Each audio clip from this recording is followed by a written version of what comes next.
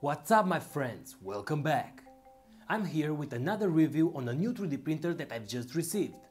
But this is not the usual type of 3D printer that I reviewed till now. As you can see, it's not a DIY kit. It is ready to use directly from the box. It's very small and fits perfect on any office or workshop table. This is the new Wi-Fi 3D printer E180 from Geeetech as you can see with the touchscreen and also Wi-Fi connection. So in this video we will see its main characteristics, get it ready and have our first print. So let's get started.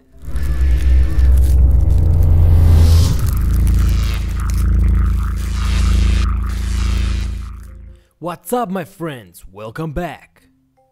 The first thing that we will do is unbox the printer and see all the parts that we have inside. Inside the box we have this polyester bubble sponge protection, which is quite unusual since almost all the printers come in this compact foam. This is a little bit more messy since it leaves a lot of plastic bubbles everywhere. Anyway, inside we have of course the printer, in just one piece, and also some guides that will help us start printing. Next we have all these extra parts. Okay, we start with the usual blue USB cable and a power cable as well. This power cable is for the next part which is the power adapter. Since this printer has no heated bed, which is the part with most power consumption, we don't need a huge and powerful power supply as in other printer kits. So we only need this 12 volts adapter. Okay, so finally we have a micro SD card for direct prints, a spare tape for the bed, a small bag of tools and also an extruder spare part module, which we will talk about later in the review. We also have some PLA filament sample as always and this bag with metal parts for the filament support. I take everything out of the plastic bags and this is all that we have. Okay guys, now let's begin with the printer setup and after we manage to print something I will give you my first thoughts on this machine, parts I like and parts I don't.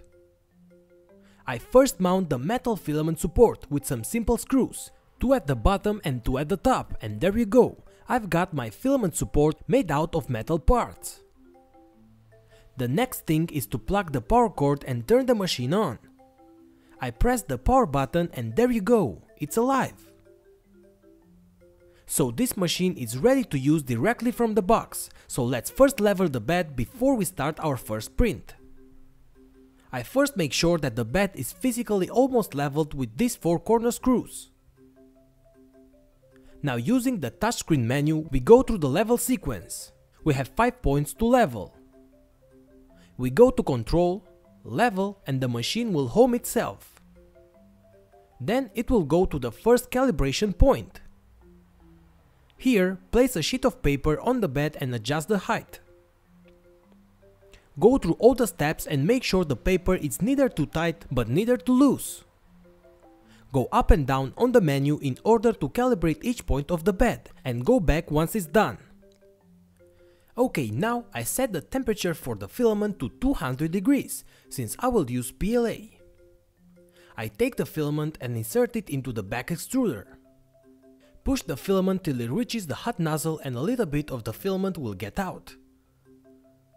Now we select the extrude button from the menu in order to extrude some filament and we are ready to go. On this SD card I've already uploaded a Benchy G-code for our first test in order to compare results with other 3D printers. Insert the SD card on the back slot. Navigate through the menu and select print. I choose the Benchy G-code file and start printing and there you go. The printer starts printing with no problems. Since this printer has no heated bed, we should always use tape so the print will stick on it. I prefer this kind of tape instead of the blue one that they give us. Anyway, let's see how this first print will turn out. Well, it's not my best print ever till now, but the quality is decent. Nice layers, no retraction problems and have in mind that this is the first print. Probably with more fine tunings for the G-code we could achieve better results. Here is the same file but printed with my dear Creality CR10. You can see the difference. While printing, the printer isn't that loud but neither silent. I guess it's as loud as almost all the printers that I had till now, with that step motor sound while moving. The first print is being printed quite well. Actually, I'm amazed that the first print is getting this good. The speed is right, the filament feed is perfect and we have all the printing details here on the screen, where we could even change the temperature while printing if we need to.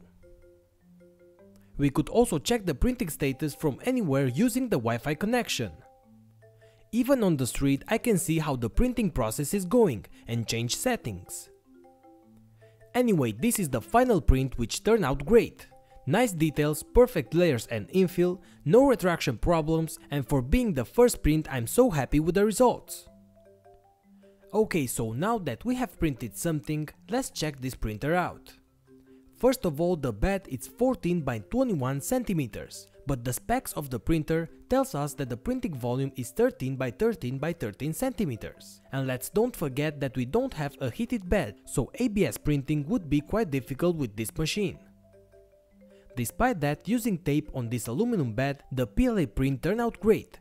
So if you usually use PLA, this should be no problem for you. The bed has 4 rollers on the bottom part, which makes the movement of the bed very smooth. And since the rollers are fixed directly on the printer case and the bed is small, you get a very stable printing bed. Now let's talk a bit about the nozzle. First of all, this printer has a 0.4 nozzle output, which is the size that I usually use.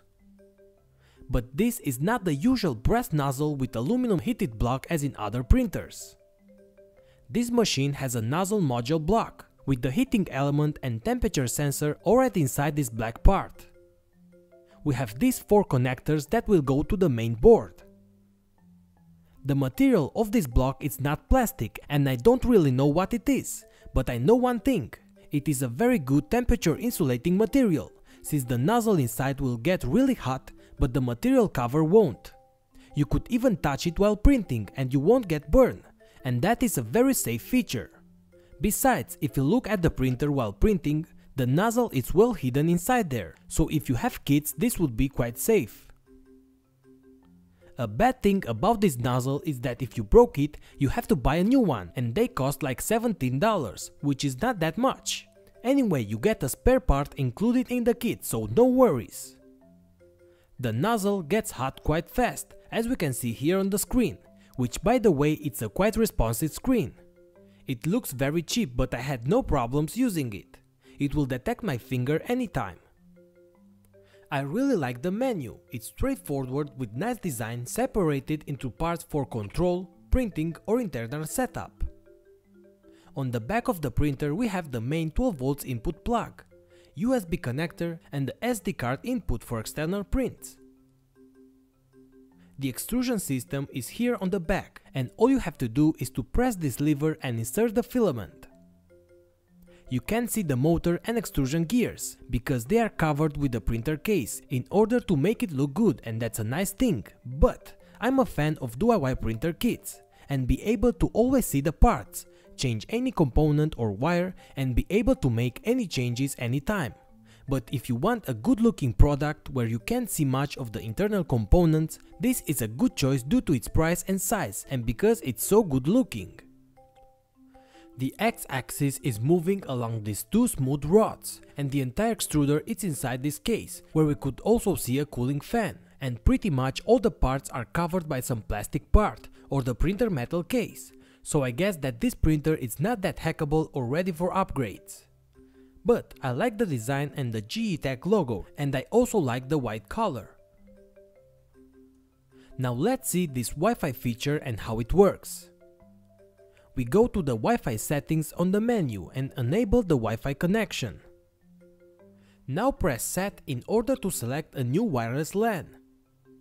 Stay in this menu till we configure the connection. Now we should download and install EasyPrint 3D app on our smartphone.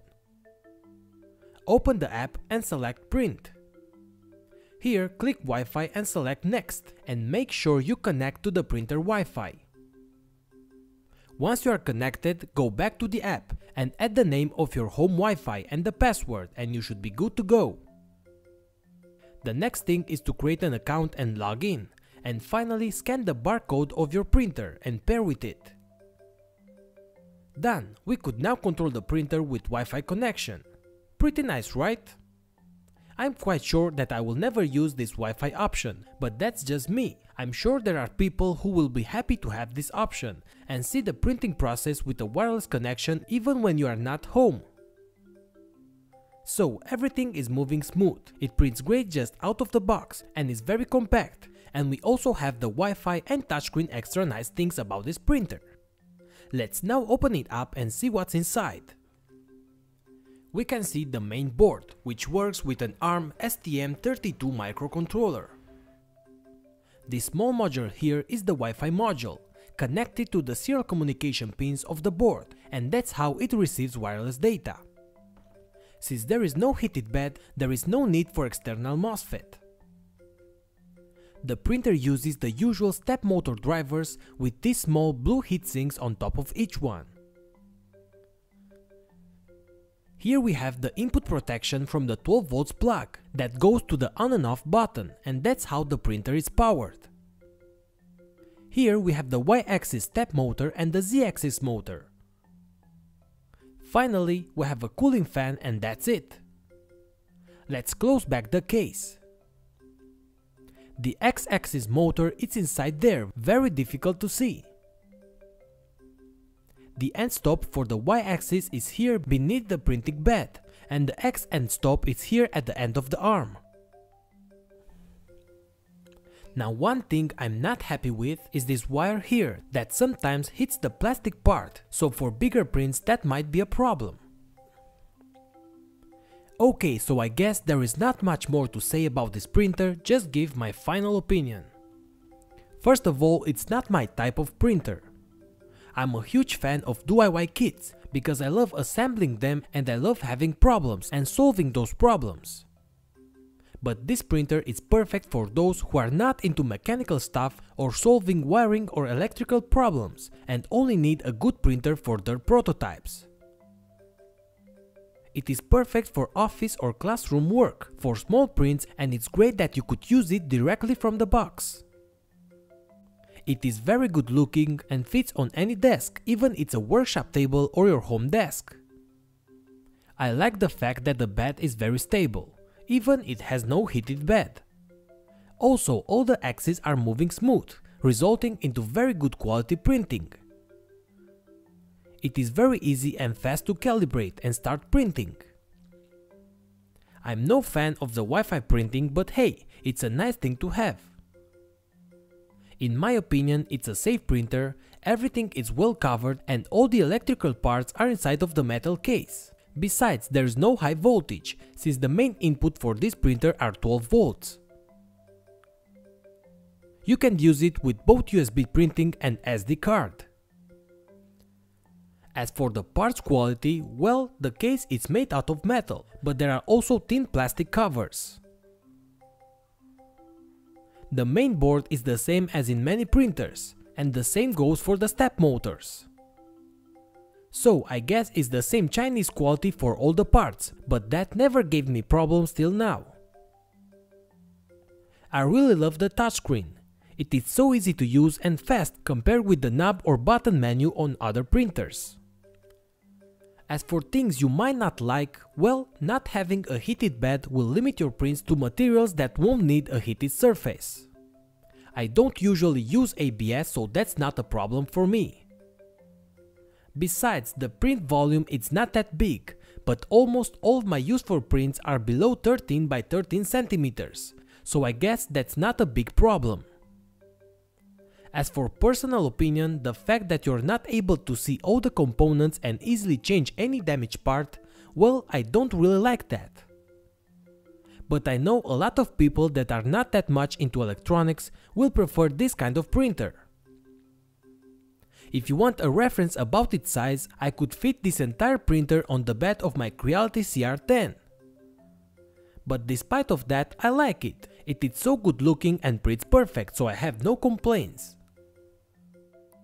As for the price, using the coupon below you could get this printer for around 190 euros, which I guess it's a fair price. so check the links and coupons that I've prepared for you below for the best price. If you want a compact and good looking printer that also prints easy and with nice quality, I recommend you this new Geeetech model and I hope that you enjoyed this small review about it. If you would like to help my projects, I have a Patreon campaign. The link is down below. I would really appreciate that guys. Also check all the links for more printers in the description below and some coupons for you that would also help my workshop. I hope that you enjoyed this video.